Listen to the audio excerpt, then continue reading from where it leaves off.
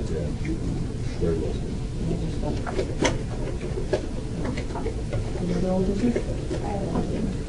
Um, When I got the board packet back, I took the opening day in enrollment, and uh, I went back and looked at the transportation costs, and um, just ran some numbers for analysis, just to get a feel, because I know you said you're gonna reach out to Morgan Valley and the numbers. And what I did is I took um, the high school number of students in each school, subtracted out our courtesy busing kids, and then subtracted out uh, out of district kids to get a net number of students eligible for our classes. And they took um, a lot of the information, but I'm going to run some numbers you. Um, When I ran the average number of kids per bus on the Long Valley route, looks like they're estimating 69 kids per bus. And Mendham is running 99 kids per bus. Uh, Because they're getting on the bus and they're calculating what they're on the bus. Um, the average cost per route in Long Valley was 31200 and the average cost per route in Mendham is 28500 But I believe we only had nine routes in Mendham, have, I believe, 21 routes in Long Valley. So I thought, let's see what the per pupil costs are. And the per pupil cost, um, at Long Valley was four fifty-three a head on the bus. And, um, the per pupil cost at Mendham was two hundred eighty-eight, and I may have used the wrong, I was using four hundred forty-seven kids on courtesy bus into Mendham. Couldn't remember if that was right. Um, but then what I really thought was interesting, um, I thought, well, let's look at the square miles. Let's look at how many square miles in Long Valley. And uh, according to Google, on the Long Valley, the Washington Township website, Long Valley point nine square miles.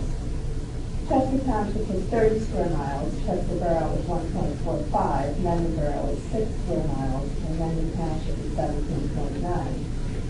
So the Mendham High School busing serves 55.35 square miles, and the central busing serves 44.9. What I did is I took the total cost and said, I what's the average cost per square mile? And uh, the average cost per square mile for Mendham is $4,650 per square mile, and then when you buy the Long Valley, it's $13,907.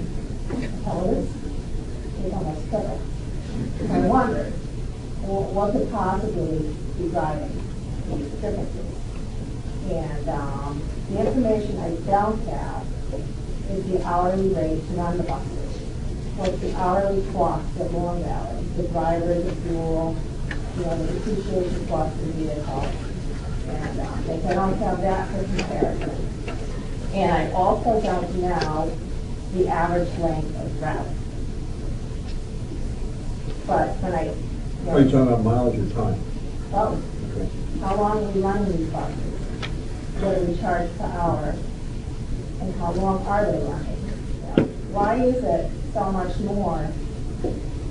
Again, it goes back to my question of, know, last meeting, why is it so much more? I'm trying to figure out what, what's driving these numbers.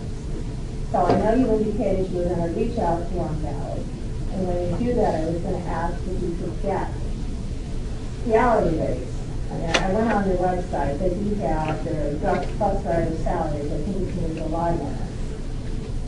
And, um, but also the length of route, and why are we calculating ninety-nine kids a bus at Mendham? Is it culturally more kids are not going on the buses at Mendham?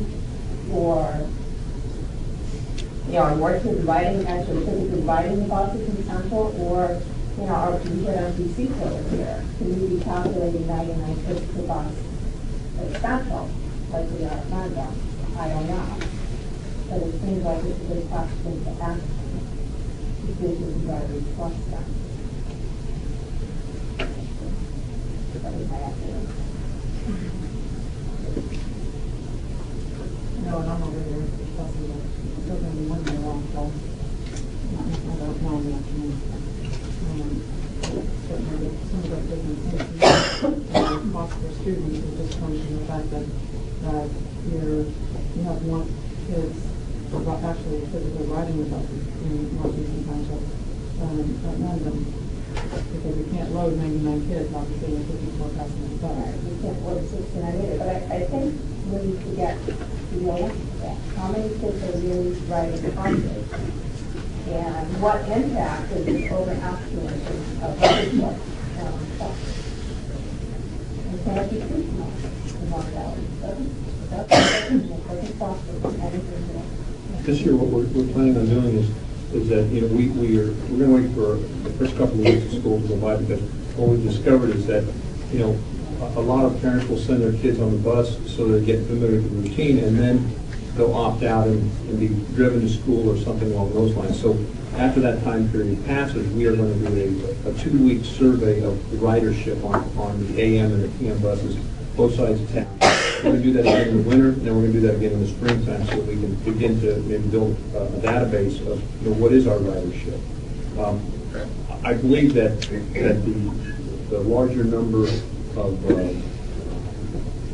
kids that are um, loaded, we call the paper load, uh, at uh, one school versus the other, is because of, of what actually happens, is that there, there are fewer kids that sign up for, for busing, or that are eligible for busing, that may take the bus Mendham as opposed to Worcester Township. But, but we, when we do our surveys, we'll be able to actually quantify that for you. Um, yeah, the other thing I noticed, maybe when you speak to them, you can ask, when I went to their, um, I believe again, it was their July twenty-seventh minutes, they're leasing the buses. And you think the fact that they're leasing buses has an impact on the cost? I, I- I'm, the research that I've done with it, uh, is I believe it's a personnel cost. Uh, When I look at the equipment cost or the maintenance cost between Mendham Township and Washington Township, they seem fairly comparable. It's in that column where we have salary and benefits, is that it's larger on the Washington Township side than it is on the Mendham Township Well, the side. salaries are all minor, you know. I did some. That, well, I mean, I, I have that information, but they, they provided me with, with the, the information. I, I don't have the hourly, you know, breakdown of each employee, but I do have the annual salaries. Well, I don't know how many hours they're actually Right. driving. And I don't know what the annual salary was, that four hours of working, that's six hours of work, they don't indicate Right. what the, the definition of that annual salary is. But, are these numbers still in, uh, So didn't you feel like you were talking that, that Mendham Township was a little, uh, people in Washington Township, but Well, yeah, yeah. And, and we have to think that the, I believe the Mendham Township Superintendent and, and uh, his staff for, uh, what you mentioned, Sue, is that the, the number of hours that they're being employed in Mendham Township is lower than in Washington Township, which is the difference between benefits and, and no benefits, which for, for us, uh, Mendham Township's cost is lower because they're paying an hourly rate, but not benefits for some of their drivers. And, and I said, well, can, can you do some routes for us over in Washington Township? And because of tiering, they were unable to, because they looked at it, you know, because we had some expensive routes, we said, well, why can't you do this route for us? And they said, we can, but you know, your cost is still gonna climb because we still have to pay a driver, uh, to cover, uh, that route. and then they, We, we did. We did. wasn't really invested. It was a pretty neat general. No, actually, I, I had was quite a worked, I worked with, Anthony and I both had worked with, uh, uh, Angelo Velarde, the superintendent for the, uh, Morris County Education Service Commission. And what he had done was, um, you know, looked at, because he did it, and and we didn't get into the bid situation, because if we get in the bid situation, you know, then, then uh, uh, it isn't like we can say, oh, we don't want to do it. It has a tremendous impact.